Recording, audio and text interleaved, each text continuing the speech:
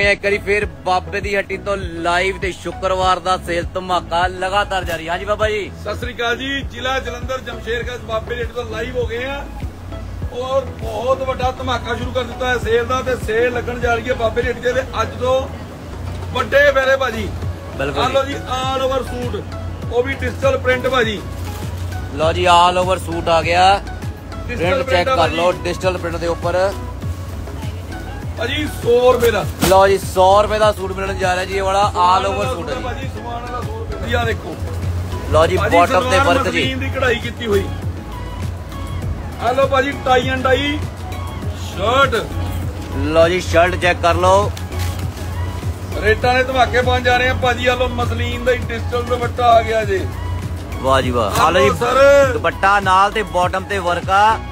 Photo ਵਾਲੇ article ਆ ਗਏ। 325 ਰੁਪਏ ਦਾ ਸੀ। ਲਓ ਜੀ 325 ਰੁਪਏ ਦਾ ਸੂਟ ਬਾਟਮ ਤੇ ਵਰਕ